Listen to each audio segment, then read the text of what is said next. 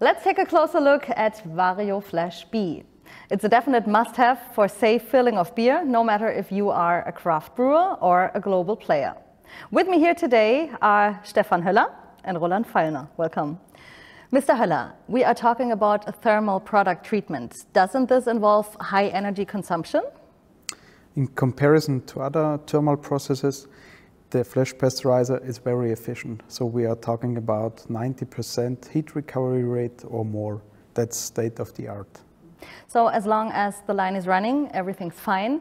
But uh, what about interruptions in production?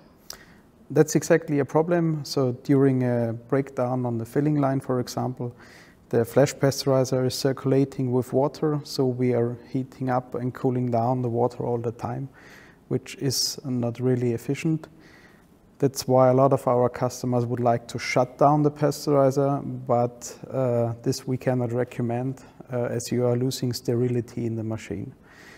That's exactly the point where our eco-hygienic sleep mode comes into. So obviously we are shutting down the machine, but we keep the final heater with the secondary heating circuit in a hot standby condition. Uh, that uh, means we overheat the final heater and we are creating a thermal barrier between the unsterile part and the sterile part of the machine. For example, during one hour of a production stop on a 450 hectoliter machine, we can save about up to 250 kilowatts of thermal energy without any microbiological risk. Mr. Feilner, uh, pasteurizing is a known procedure. So what's special about the solution Krones has to offer? The goal for each thermal process is to lower the thermal impact for the beer quality. So this means a tunnel pasteurizer with uh, a warm temperature, uh, maybe 65 degrees, and uh, a long heat holding time is uh, influencing the beer quality more than a flash pasteurizer with a short heat holding time and a higher temperature. Uh, this brings me to our uh, patented express pasteurization.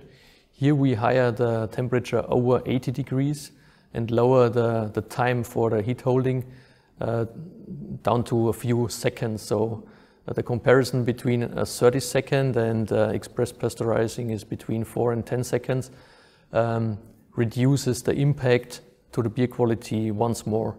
So we're speaking about uh, less uh, building of aging carbonyls, uh, less building of heating indicators, and also the, the increase in the, in the color during the pasteurization process is reduced.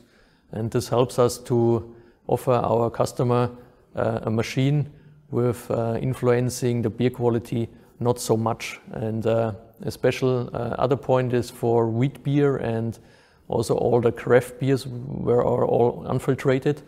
Um, the flash pasteurizer over 80 degrees um, allows us to crack the proteins, they agglomerate, and uh, the result is a, a really nice uh, haze stability for this unfiltrated beer.